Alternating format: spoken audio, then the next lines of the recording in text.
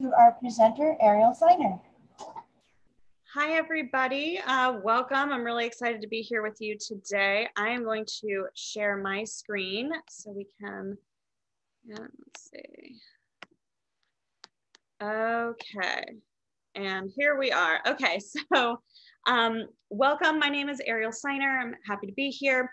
I am an estate planner. I have been an estate planner for going on five years now. I work at Hoge Fenton Jones and Appel. We're mainly located in San Jose. We also have offices in Pleasanton and in uh, San Mateo. We are a full service law firm. We provide estate planning, trust administration, tax planning services, as well as real estate, business litigation, corporate governance and formation, um, family law services, employment law services, and uh, IP and data and privacy services as well. So what that really means for the purposes of today is I'm an estate planner and that's what I'm gonna be talking about. But if any other issue comes up in any other legal fields, almost any other legal field, I have a colleague down the, the hallway that I can call um, to assist. So we are really able to provide our clients with assistance in really any legal issue they may have. So that has helped me in my experience as an estate planner um, and has helped me help my clients um, as well.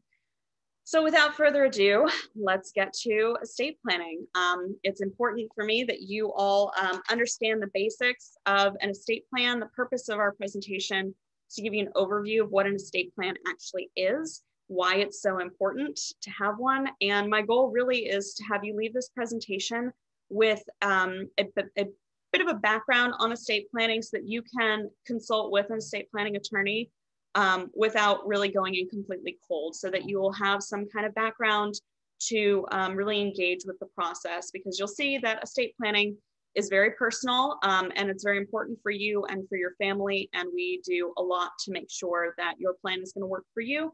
It is very much not a one size fits all kind of scenario. So it's important to understand what the different pieces are and how they'll work best for you. So first we'll start with what is an estate plan? Um, it is first and foremost a plan. It is not just a document. It's not even a stack of documents that you have to sign. Um, it is a framework for the management of your assets during life and uh, the succession of those assets after death.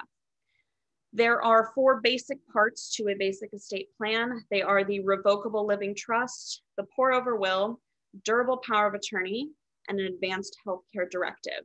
So these, each of these four, um, I'm gonna go through, kind of explain the main aspects of each one, how they work and kind of the different flavors that you may come across.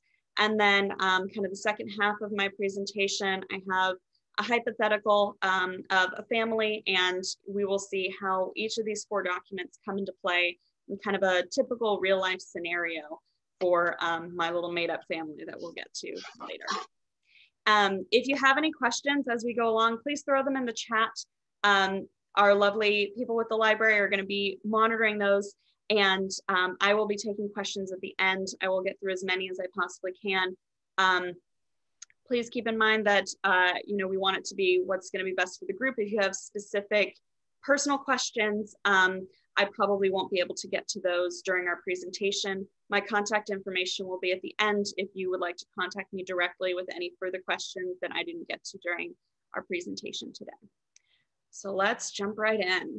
So we will start with the revocable living trust. I call it the centerpiece um, because it is kind of the main focal point of the estate plan. It is pretty much, you know, the, the main management of your assets is governed by the trust and it helps um, with all the other documents. They're kind of ancillary to what the trust does and what the trust provides. So a little bit of vocabulary background for a revocable living trust. Each of those pieces, revocable living and trust are all important. Um, the trust can be revocable or irrevocable. Revocable means that the creators of the trust can revoke the trust, obviously, um, and terminate it and make it go away.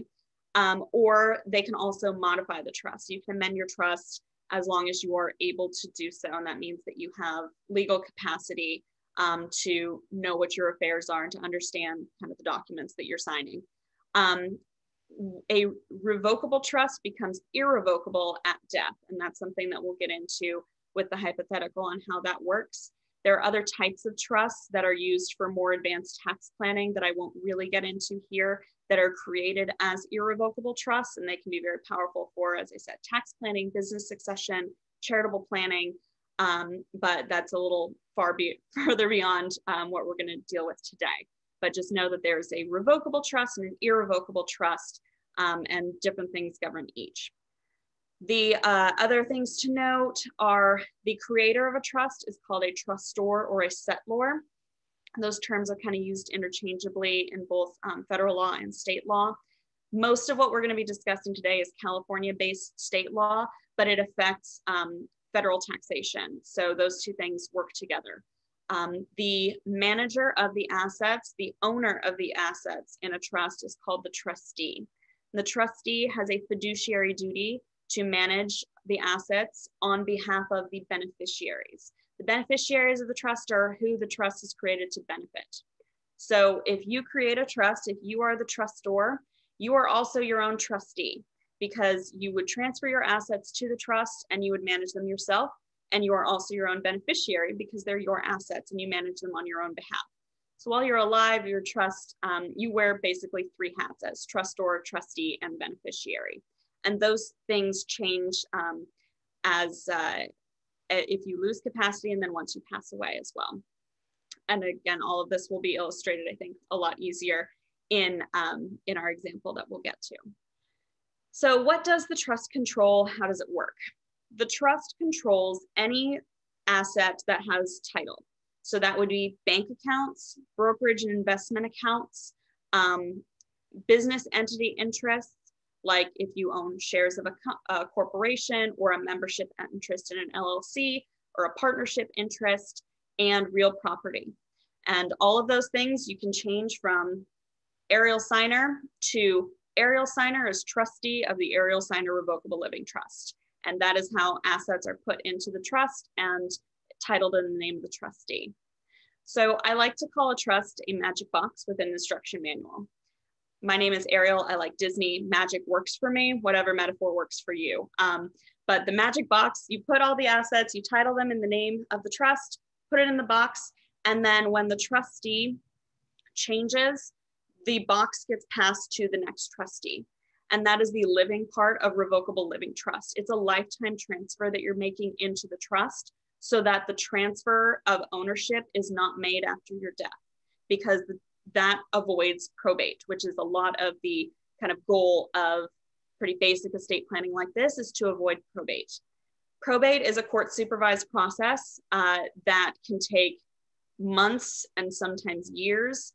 It has statutory fees based on the gross value of the estate, which means, for example, if you own a house that's worth a million dollars, but there's a $900,000 mortgage, the fees are a percentage of 1 million not on the equity of 100,000. So it can be very expensive um, and there's not a lot of way to mitigate that. And it takes a lot of time because the court has to take control of your assets and change them from your name um, after you pass away to the names of whoever your pa property passes to.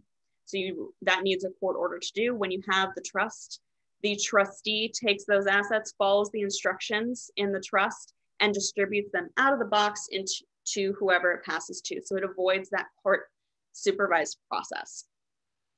And there are three basic stages of the revocable living trust, particularly for a joint trust. That would be if you're a married couple, typically you would have a joint trust for your community property assets. It also can control your separate property assets If you're unmarried or if you have significant separate property as a married person that you want a separate trust for, it would be a sole settlor trust and it would be set up with just the single creator. So for a joint trust, the three stages are when both creators are still living, after one has passed away and the other still survives, and then the third stage is when both passed away. And all of this will also be illustrated in our example coming up, but that kind of keep that in the back of your head that there are those three stages and the one document controls all three of those stages and what happens with the property and how it's managed in each of those three stages. So it is a pretty powerful document. It does a lot of things um, and it has a lot of impact on exactly how things are going to be managed and how they're going to be passed on. So the next document we'll talk about is the will. Now, um, just because you have a trust, you also need a will. And that's why I say pop culture gets it right. You do need a will, um, even if you have a trust. The will covers anything that is in your probate estate. And now, what is a probate estate? I thought that the entire reason you would have a trust is to avoid probate. That is correct. But as I also said, that the trust only controls things that have title. There are a lot of other assets that don't have title. There are also a lot of assets that may not be funded into the trust during lifetime. So the probate estate is anything that is not in the trust and anything that is not in joint tenancy, which means um, typically it would be real property or a bank account um, titled specifically as joint tenancy. That property passes by law without the probate court process. Um, to it passes the property to the survivor automatically. So that's not part of your probate estate. It also would not be transferred into the trust typically. If you wanted to keep it in joint tenancy, we tend to recommend against that. If it can be titled in the name of the trust, it should be. Um, other property that does not pass uh, through the probate estate does not go into the trust is anything with a beneficiary designation. So that would be life insurance, annuities, 401ks, other kinds of retirement or pension accounts like that. Um, those pass under the contract that you that goes with that account. So the company that's managing those assets will distribute them to whoever is listed on that beneficiary designation. Um, and that you could name the trust so it passes into the trust, or it can be just a person and they get a check from Charles Schwab or whatever else. Um, and that avoids that probate process as well. So then the probate estate is left with anything else. So it could be, for example, a savings or brokerage account that you have that you just forgot to change the title into your trust and it's just kind of hanging out there somewhere. If it's not in the trust, it would require the probate typically, um, and it would require uh, that it passes via intestacy, and that is the statutory kind of scheme that says if you you have not actively set up an estate plan that says where your property goes, the, the law will tell you where it goes. So to avoid that, we have what we call a pour over will, a pour over provision in your will.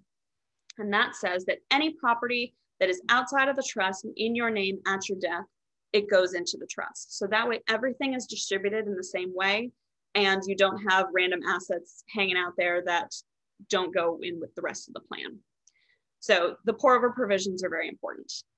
Um, I also have a note here about executor versus trustee. You may have heard the term executor. That's typically if the will does go through the probate process.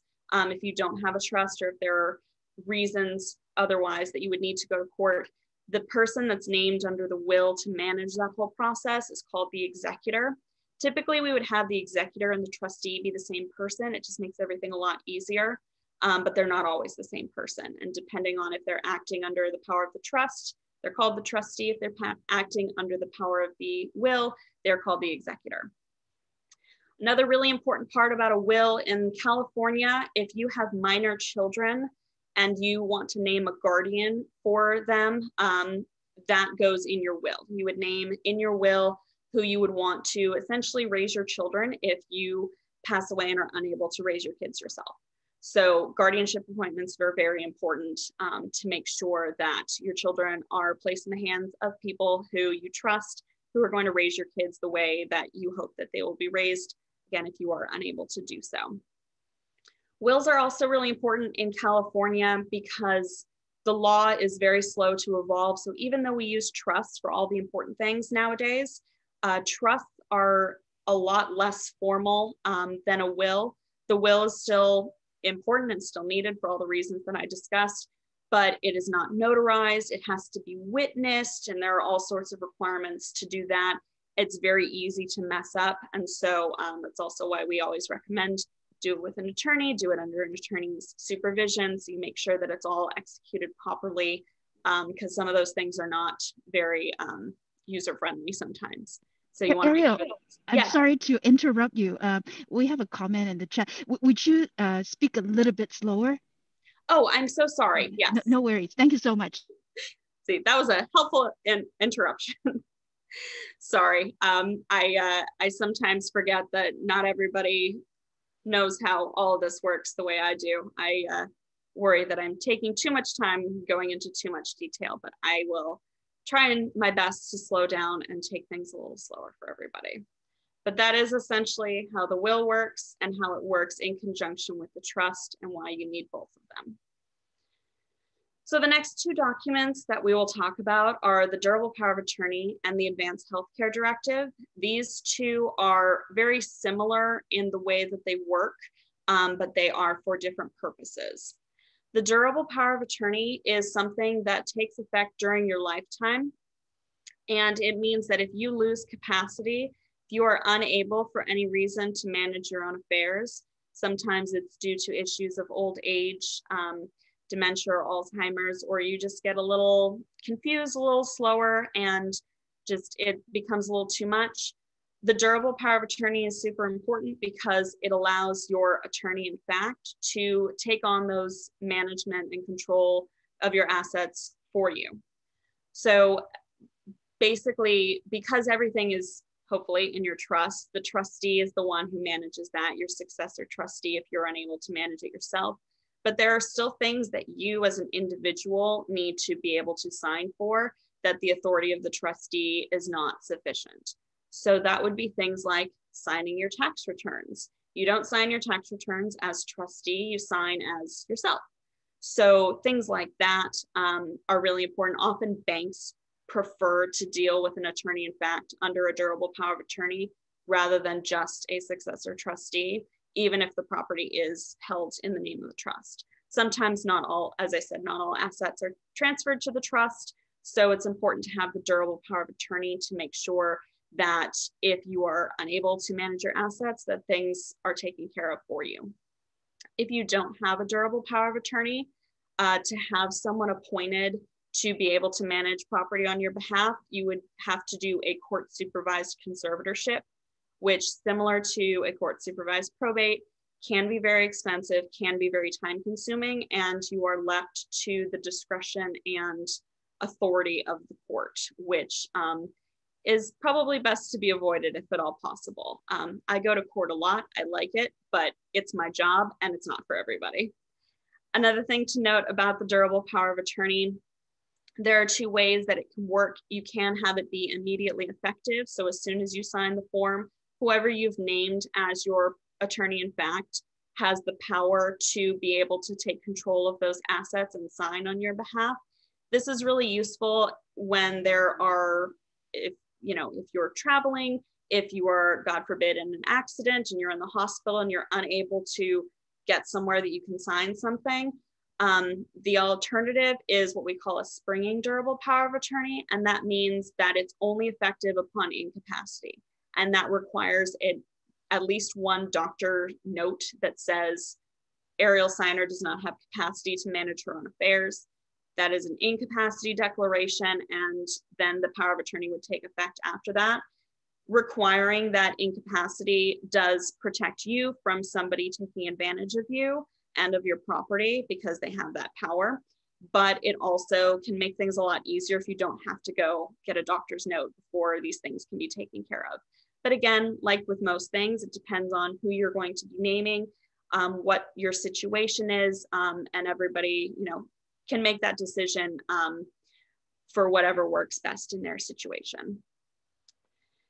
And the fourth of our documents is the Advanced Healthcare Directive. And um, when I first started giving this type of presentation, it was about a year ago. And so advanced healthcare directives were the talk of the town. Um, now it's still very important, but there's uh, much less of kind of a panic around healthcare than there was a year ago. Um, but an advanced healthcare directive, even not during a pandemic, is extremely important. The advanced healthcare directive does two main things. First, it allows you to name an agent for healthcare. This means that you can, um, that when you are unable to communicate with your healthcare provider, um, that your agent is the one who is getting access to your medical records and giving consents for medical care. The other thing that the Advanced Healthcare Directive does is it allows you to state your wishes for things like end of life. Do you want someone to quote unquote pull the plug? Or do you have very specific requests for pain management? Are there religious beliefs that need to be taken into account for things like autopsy or organ donation? So, all of that, um, not a fun conversation to have with your loved ones, but if it's written down in a place where they know where it is, they will know what your wishes are and they don't have to guess if they're in that circumstance where they have to make those decisions for you.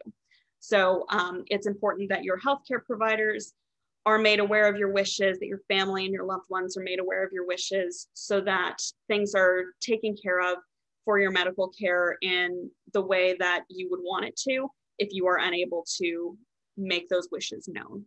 So advanced healthcare directive, also very important, um, also takes effect during your lifetime and allows your agent for healthcare to make those decisions um, knowing what your wishes are. So that is the overview of what an estate plan is and how it works. So I thought the best way that we can really illustrate that is what I call planning and practice. So I'm going to introduce you to our blended family. So Ruth has three children, Zoe, Beth, and Tarek. And Harry has two children, Catherine and Graham. Ruth and Harry have gotten married, and between them, they have five children. They have no joint children of their own. So they come in to do their estate plan because they want to make sure that each of them can benefit their children to uh, in the ways that they want, that things are taken care of on their behalf in the way that they need it to be and that all their kids are taken into account when they're determining how things are managed, as I said, during their joint lifetime, when one has passed and the other survives, and when they're both gone. So all four of these documents are going to come into play, and we will go through and kind of talk about each one, how it works for Ruth and Harry and their family. So the first thing to keep in uh, that we'll discuss is uh, the structure of the trust. I didn't really touch on this much when I mentioned how the trust works, but it's really important to determine, especially for a joint trust, well, essentially only for a joint trust, what the structure of the trust is going to be at the death of the first spouse. And there are a few different ways to do this.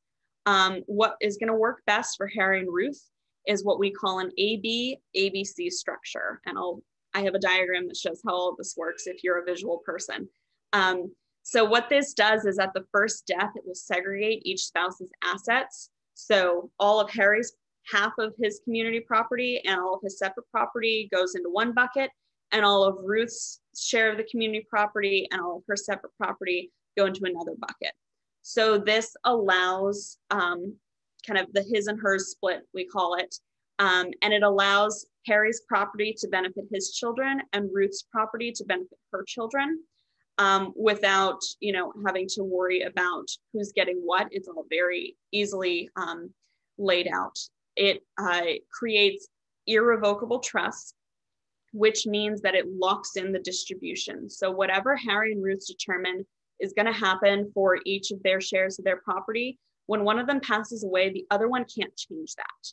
So if Harry passes away first and Ruth gets remarried, she can't take Harry's property and give it to her new spouse. So it really does ensure that Harry's property is going to benefit his children in the way that he wants it to. Another thing that this structure and the, these irrevocable trusts do is for tax benefits. There are ways of doing tax planning around the uh, estate and gift tax exemption, which is has been discussed a lot in the news recently. There may be changes to it. Currently, each individual has an $11.7 million exemption from estate tax. So that means that during your lifetime or at death, you can give away and transfer up to $11.7 million tax free, essentially. So anything above that currently under the estate tax rules is taxed at 40% before it can be passed to your beneficiaries, and that is federal estate tax. There is something called portability that we have had since 2013, and that means that your spouse, if due to tax planning and things that I'll discuss in just a minute, um, you don't use your full exemption for the year 2021, it's 11.7 million your surviving spouse can then take your unused exemption and use it at their death. So at you can do it so that there is no tax due at the first death and you have 22 million plus as an exemption from estate tax to use at the second death. Before 2013, that was not something that we could do. And there were all sorts of different other tax planning things that we were taking into account. There have been a lot of talks um, under the Biden administration that those numbers are going to change, that the way that these tax planning situations work is going to change. So um, part of the fun of my job is things are always changing. We never really know how things are going to turn out until the law is passed. But the way things are right now, we have 11.7 million exemption and we have portability that allows for the spouse, surviving spouse to use that unused exemption from their pre-deceased spouse. So for Harry and Ruth, um, that's going to help them. I'll show how the tax benefits work as well as their bigger goal of making sure that their property benefits their children. So as I said, they're uh, you know protecting what is mine versus what is yours versus what is ours, and making sure that they um, have that their property benefits their families. Ways that we can do this, um, I have what what's called a statement of intent. So in Harry's situation, his son Graham has not made very good choices in life. He is very estranged from the family, and so Harry wants to disinherit him. So what we would do is to kind of help prevent that being a surprise, help prevent litigation in the future, saying, oh, Harry didn't know what he was doing, he this isn't valid, et cetera, et cetera. We put in what's called a statement of intent saying that you know, laying out the reasons why a person is being disinherited so that everybody in the family is aware that this is what's happening and so it doesn't come as a surprise. Um, we also keep in mind uh, in this structure and in the distribution provisions, what is going to be best for each child's needs and abilities. So there are ways that you can set up a trust for your children that can terminate at any age or be there for their entire lifetime. And sometimes it is best to have property managed for the child's benefit and not just given to them outright. Sometimes it is better to just give it to them outright and to avoid the complication and expense of an ongoing trust. All of this will be demonstrated right here. So this is a pretty typical diagram structure that we like to use in our office to explain these things about how this trust works. So we have up here, I think hopefully my mouse is visible. So we have Harry and Ruth create their trust. They transfer everything into their trust. And we have over here the will with the pour over provision. So anything that is in either of their names at death pours into the trust. Harry's share, let's so Harry passes first, we'll just say. Harry's share gets allocated over here. The exemption amount, so that would be if Harry passed this year, 11.7 million, it changes every year. That amount gets allocated to what we call the family trust or the B trust. Sometimes it's called the bypass trust or the credit shelter trust. Many different names for the exact same thing. And that is held over here. Anything that Harry owned at his death beyond that would transfer into what we call the marital trust, also called a QTIP trust. And that stands for qualified terminable interest property. And all of this is kind of for tax planning purposes that I won't get into. It's a little beyond the scope of what we're doing. But that exemption amount and that portability that I discussed, all of that happens here. So Harry's share passes into these two trusts, or maybe just the one, depending on what the exemption is at the time of his death. Ruth's share as the surviving spouse goes into the survivor's trust. And the survivor's trust is a revocable trust. Ruth can make any changes to it that she wants because this is her property and she manages it and she can decide what happens to it. The family trust and marital trust are irrevocable, which means that Ruth can't make any changes to those trusts once they've been established and once they've been funded with Harry's property. So when Harry and Ruth are setting up their estate plan, what they've decided is that Harry's share is going to go 75% to his daughter Catherine outright, free of trust. And then 25% is going to be split between a few charities that he supports. And his son Graham has been disinherited. Ruth's property, she wants to have an equal shares to her three children. And as I said, it is a revocable trust. Um, and that means that she can change it as time goes on if things change with her kids and she makes different decisions on what would be best for them. So we go along and few years pass. They don't really make any changes to the estate plan and Harry gets sick. So Harry is in the hospital, he's having surgeries, whatever else is going on. So Ruth, under the durable power of attorney, is Harry's attorney in fact. So she can manage everything on her own for her property and for his. And because Harry, Ruth, as Harry's wife, is his agent under the Advanced Healthcare Directive, she is the one who has access to his medical records and she's making the consents and decisions for his healthcare.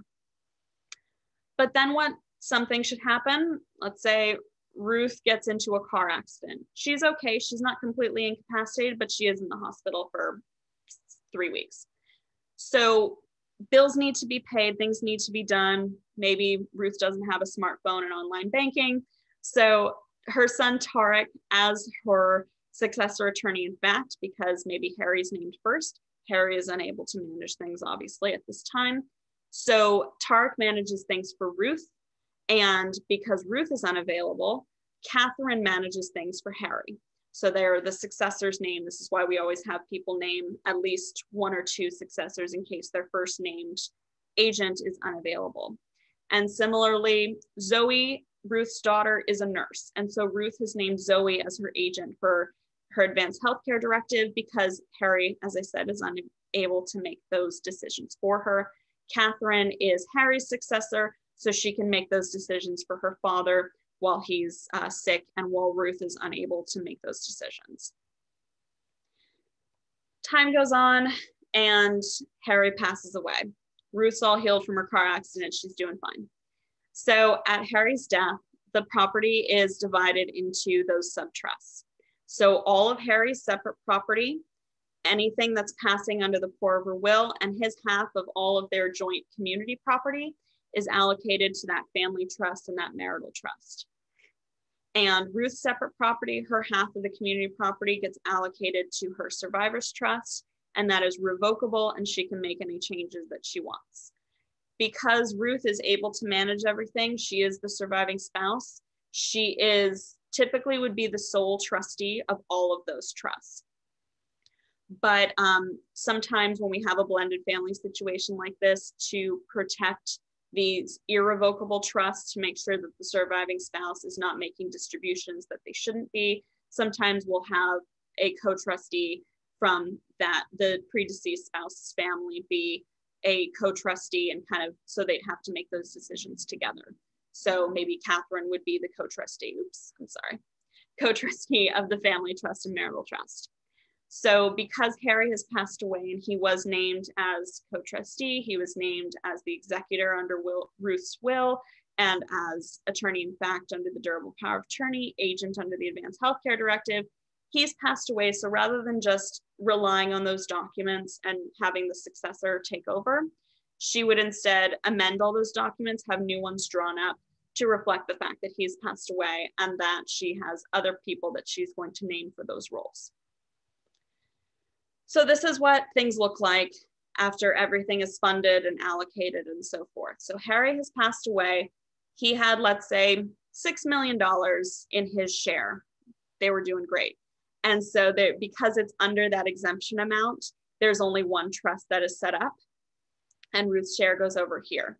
And be, after Harry's death, Ruth has changed her mind about things that she wants to do with her share. So she's decided that instead of it equally going to the three kids, she wants 40% to Zoe and 40% to Beth, and those in trust. Maybe they're not very good with money, that it would be more of a burden than a benefit to just hand them their money, you know, cut them a check after their mother passes away. So that will be in trust for their benefit. And then 20% of the of Ruth's share goes to her son Tarek, and that will be outright Tarek is good with money. Maybe he's an accountant and he's perfectly fine managing everything for himself. Again, all of this could be changed um, as long as Ruth has the capacity to do so. Harry's share, because this is an irrevocable trust and it cannot be changed, it stays exactly the same and that distribution is locked in. The reason that Harry's share does not automatically go to his beneficiaries at his death is because typically most of what would be up here in the original revocable trust is community property. That would be things like your personal residence, um, you know, bank accounts, things like that. There may not be enough in Ruth's one half of all of that to support her for the rest of her life. So, because of that, the assets of the family trust would be available to the survivor for things like medical care, for standard of living to be able to pretty much pay the bills, keep the lights on, um, to benefit Ruth for her lifetime. She's not buying a Lamborghini or anything. She's paying PG&E. So that would so that is available to her during her lifetime. But then whatever's left over at the end then goes to Catherine and to the charities after Ruth's death to ensure that she's taken care of for the rest of her life. So a few more years pass and Ruth loses capacity. She's diagnosed with dementia. She can't manage things on her own. She doesn't know what her trust is or anything about it anymore. So at that point, the survivor's trust becomes irrevocable because she no longer has the capacity to amend it. So Tarek takes over as successor trustee of the survivor's trust. Catherine takes over as sole trustee of the family trust because Ruth is no longer able to manage it and because the family trust holds Harry's property. So his daughter Catherine is the one who would manage that. And Tarek also is going to take over as attorney in fact and healthcare agent for his mom. Maybe Zoe's moved out of state. And so it's easier for Tarek, who lives locally, to be able to manage things for his mom because he's right there. Also, something to consider is having people local nowadays with everything being remote that we've learned over the last year or so that's less vital than it used to be but it still can be pretty handy to have someone who can just run to the hospital run over to mom's house without having to jump on a plane. So after another year or so uh, ruth passes away and we have the administration of those trusts. So for the family trust catherine distributes it exactly as it says the family trust goes 75% to Catherine. So she writes a check from herself as trustee to herself individually or transfers title to real property, whatever those assets may be. And 25% of the family trust goes to those named charities. For the survivors trust, um, Tarek then would be the one distributing everything. Ruth never amended the trust um, again after she did that first time after Harry's death. So 40% go into trust for each of Zoe and Beth. Um, that could be for a number of years. It could be have stage distributions. A lot of times we see people say maybe at 25 years old, my kid can get half of everything. And then at age 30, 35, the rest of it goes outright, something like that. Um, so those trusts are managed by Tarek as successor trustee, and he pays distributions to his sisters as needed for whatever they need while the property is in trust. And then at age 35, let's say, whatever's left over in those trusts goes outright to them. It's their property, they can do what they want with it. And then 25, 20% of the survivor's trust at Ruth's death goes to Tarek himself outright. There is no continuing trust for his share. And at that point, both of the trusts have been fully distributed they terminate and the estate plan has served its purpose. The property has been managed during Harry and Ruth's joint lifetimes, after Harry had passed away and Ruth survived, and then after Ruth had also passed away. And so the estate plan did its job and everything's all done. And that's how it works. So at this point, um, we have, it looks like a little less than 20 minutes left, and I am happy to take questions. I believe Leah and might be asking whatever questions there may be. So um, I will throw up this screen. Um, here's my bio and all of my contact information. So if there's, if we don't get to your question, feel free to email me. I'm happy to answer questions later. So um, that's all I've got. Questions? Great, thank you, Ariel. Um, so one of the questions that came in is, will you charge if they email you?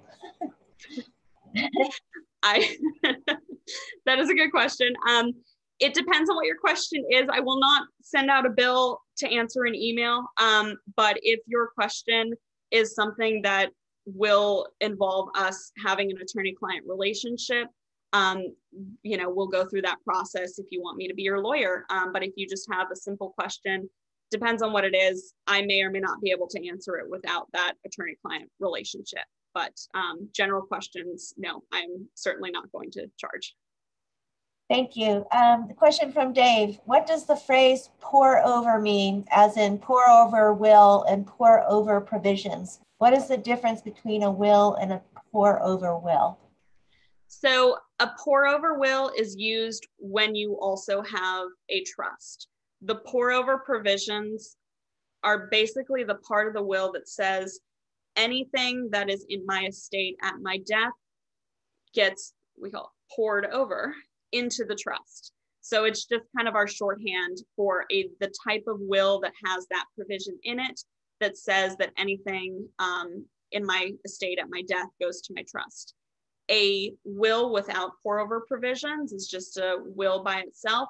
If you don't have a trust, you should at least have a will for the reasons I described. It um, prevents uh, intestacy, which is the state sponsored estate plan um, that says that everything goes equally to your spouse, children, depending on separate property, community property, all sorts of good stuff. But essentially, if you want to direct where your property goes, you need to put it in your will if you don't have a trust. If you have children, you name your guardians for your minor children in your will. So, also an important thing to have. Thank you.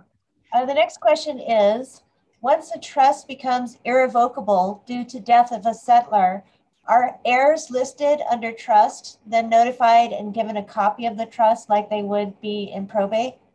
Yes. So um, it is probate code section 16061.7.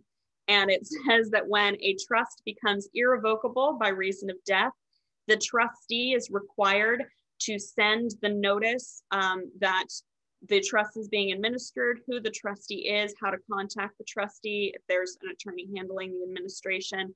All of that goes to the named beneficiaries under that trust and to all the heirs at law. So, in the example that I provided, Graham was disinherited from the trust and was not going to be receiving anything. He still, by law, gets a copy of the trust that says, you know, he's being disinherited and here's why. Um, and so that's that's why we like that statement of intent because the disinherited persons, if they are heirs at law, um, would receive a copy and would like to know, I'm sure, why they're being disinherited. Thank you. Um, the next question is this person is asking if do, do it yourself services like Susie Orman or Nolo Press, Quicken email and e will and trust maker are sufficient I, I they can be. Um, they they are kind of a one size fits all kind of situation, which for anything more complicated than I am not married and I have more than or if you are unmarried, if you have one child, you can do it yourself and it should be pretty simple and it will work. Almost anything more complicated than that you can run into problems really easily. Um, another kind of half of my practice outside of planning is interest in trust and estate litigation. I would say that about 90% of the cases that land on our desk for people suing over something or other come from do it yourself kind of things or what we call trust mills, things that happen. It's a form that you fill in some names and you say it's good enough. Um, that's typically where the problems come in because you don't have an experienced attorney really advising you on your powers and rights and some of these issues. So it can be enough, um, but I, as an estate planner, do not recommend it. Thank you. Um, the next question is, hold on. Uh, does the advanced health director, healthcare director need to be signed by a doctor? No. Um, it only needs to be uh, either notarized or witnessed by two people who are especially not your doctor. or a healthcare provider. Um, there are other types of forms. I believe there's one called a POLST, P O L S T, um, or a DNR, do not resuscitate, things like that, that do need to be signed by your doctor. Um, but the Advanced Healthcare Directive that has these more basic um, wishes listed and naming your healthcare agent do not need to be signed by your doctor. Thank you. Uh, the next question is, does the witness to the revocable living trust need to know the contents of the document, or is he or she just there to say the person signing the document is the person who is creating the trust, similar to a notary public? So yeah, so short answer, um, you so the trust is not witnessed, only the will is witnessed, and you need two witnesses who are uninterested parties the trust um, typically is notarized. It doesn't actually have to be notarized to be legally valid. We recommend notarization, um, but it's not required. Uh, but no, the witnesses to your will also um, do not need to know what is in it or what you're doing with your property. One of the benefits of having a trust is that it is private and you aren't going to have it as a court document um, as you would with a probate.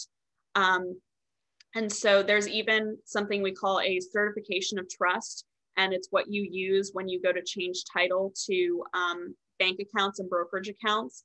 It's like a short form that it just says, here are the trustees' powers to manage the property. The trust exists, here's the date it was signed, here's who the trustee is. And none of the dispositive provisions on who gets what is in that because the bank doesn't need to know what you're doing with your property your witnesses to your will don't need to know what you're doing with your property. So it, it's a lot more private than just having a will or having nothing at all and going through a probate process. Thank you. The next question is, you mentioned that either the revocable living trust or the pour over will has some pitfalls involved if a person tries to create these documents themselves. Can you repeat what you said about that? Sure. So there are often times things that are more complicated than you might think on the surface. So for example, the, the simplest possible estate plan would be I give everything to my one child outside of trust. So free of trust, you know, when when my parents pass away, I'm an only child, everything goes to me. I know that. Good for me. But anything more complicated than that, if you have multiple children, if you want to name more than one successor trustee, people will disagree. Estate planning and estate administration is a very emotional process because a loved one has passed away. And that's just the nature of the beast. And when things get emotional, people tend to fight about it. People get stubborn. They make emotional decisions rather than rational decisions.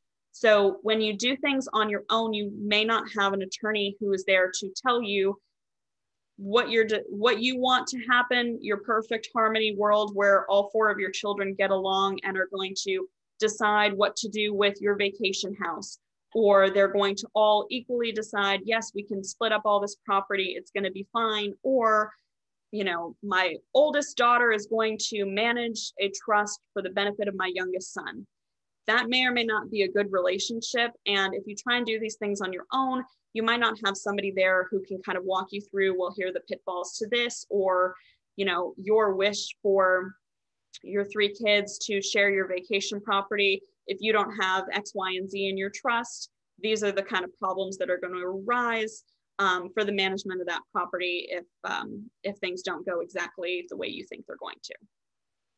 So really estate planning is not only just putting the documents together and putting together that plan, it's the process of engaging with an advisor to kind of help you make the best decision for you and your family. Thank you. How should any updates of revocable trust and or will be valid or legal after the initial setup in a law office? Um, for example, with an executor a list of assets. Please discuss updates with different lawyers versus updates by oneself or or as the trustee. Okay. Um, so anytime, uh, so we'll say it's a joint trust, you and your spouse are living and able to manage everything. If you want to make changes, you can go back to your estate planner. You can go to a different estate planner. Um, as long as you have your original trust, you say, I want to make these changes. We will do an amendment to the trust. Um, it is typically pretty short and it will say something like, you know, on this date, Joe and Sally created this trust, named themselves as trustees. They reserve the power to amend the trust under this article and they amend the trust as follows. And maybe you're changing who you want to be successor trustees, or you had your trust set up so that it would go to your three kids equally, and you're changing your mind that one's going to get less and one's going to get more, something like that. And then it would just be the article that's being amended, and we would rewrite it to the way you want it now and signed and notarized, boom, done. Similarly, with schedules of assets, um, we love a schedule of assets. It's good to let the successor trustee know what they should be looking for when they're uh, going through all your stuff and marshaling the assets. Um, if you've signed the schedule of assets initially, you typically would need to have a re one rewritten up and then uh, have it signed again. Um, typically notarized as part of the trust amendment Personally, I don't have people uh, sign their schedules of assets because assets can change. You can open a new bank account, close one off. It is perfectly valid for you to just handwrite in changes onto that typed page. Um, it is also a very simple process to send in those handwritten changes to your attorney and say, can we update my schedule? Great, type it all out. Your attorney then has it on file, you have it on file, everything's all done that way. Um, and that's pretty much uh, how how updates get done. Um, sometimes more significant updates need to happen. Um, we get a lot of clients come in after six, seven, eight plus years, and the law has changed. And maybe the way your trust was initially set up with that, maybe that AB ABC structure that I talked about with Harry and Ruth, maybe that's not going to be the best idea for you anymore. And so we then do what's called an amendment and restatement where we have a little preamble that says that the trust was created on this date and you reserve the power to amend it, and then we rewrite the whole thing. It's a brand new document, has all the new updated laws and all the changes that you want to make, but it's retroactive to that original signing date. So you don't have to change title to anything. It all keeps that original title to it um, and lets you make those kind of bigger, grander, sweeping changes. But um, yeah, the amendment and amendment and restatement process can be pretty simple. It can be done as frequently or infrequently as you want to revisit your estate plan. Thank you. The next question is, can real stock certificates be part of a living trust? Yes, um, typically to have stock transferred into your trust, you would need to go back to the company that issued the stock and have the certificates reissued to um, the trustee of the trust, uh, and those stocks would be then listed on your schedule of assets. Uh, is a live is a living trust needed if assets held in joint tenant title, or there is beneficiary designation, separate advanced healthcare directive, and separate power of attorney? This is an abbreviated question. Sorry. um, okay, let me take that one piece at a time. So Property that is in joint tenancy or has a beneficiary designation does not need to go into the trust, does not have uh, require probate if there is no trust. Those things pass by law. Typically, if um, a lot of times what happens uh, in my experience is when a married couple comes to do their brand new estate plan, they have nothing and they want to do an estate plan. Oftentimes, um, they'll have property already titled as joint tenancy because it's better than nothing because it does avoid that probate process and makes sure that the survivor receives the full value of that property. Typically, their house will be in joint tenancy. Um, we can take that joint tenancy property and transfer it to the trust. Um, one of the things, at least that my my firm does, is when we do an estate plan, we make sure that your real property is transferred to your trust, we prepare all of the deeds and get them recorded with the county. Um, it doesn't do anything to your property taxes, doesn't change your uh, income taxes, depending on how things are titled. Um, so if you have joint tenancy property, it can be then transferred into the trust. It is no longer joint tenancy at that point, it is trust property. Um, but if it is kept in joint tenancy, it will still pass under the rules of joint tenancy outside of the trust. Thank you. Can you leave assets in trust even if children are not minors? Or do you have to specify an age at which they have access to the funds?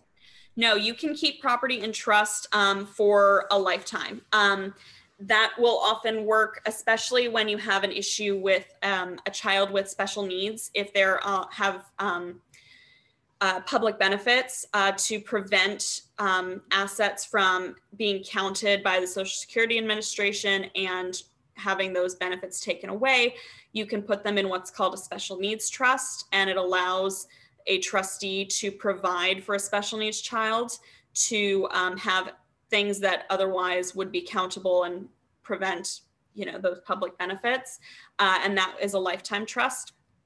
Even without special needs um, maybe you know you have a child who you has maybe some trust problems um, well bad choice of words who is maybe susceptible to influence from others um, maybe they have a partner or a spouse that maybe you don't like so much. You want to keep make sure that somebody else doesn't have influence over your child. Um, you can keep that property in trust for their lifetime. The trustee manages it for them, makes distributions as needed, and you can keep it in trust for the their whole lifetime. Thank you. Um, can you explain survivor versus family trust? Would that apply to an individual or only spouses? So that's only for spouses. Um, if you are an individual and you have a sole settlor trust, um, at your death, things are distributed or sent to other subtrusts. The family and survivor trust um, that I described is a tax planning um, uh, mechanism for married couples. And it also, um, with the case of Harry and Ruth, allows for the separation of assets to make sure that his property benefits his kids and her property benefits her kids without you know the kids squabbling between them for that so if you are an individual and you're setting up a trust just for yourself during your lifetime and then maybe for your children or nieces and nephews or whoever after your death those sub trusts um, are not needed for that purpose all right well thank you so much ariel i want to be respectful of your time and um, the library's time as well so we are at five o'clock. And if you have um, further questions, you can email Ariel Signer. We've posted um, her email in the chat, which we will save and send to you after the program, as well as her slides. And thank you very much for your informative presentation today, Ariel. We really appreciate your taking the time to educate us, and we hope to see you again. And to all of you in the call, thank you for coming and we'll see you at the next program. Bye-bye. Thank, thank you so much, everybody.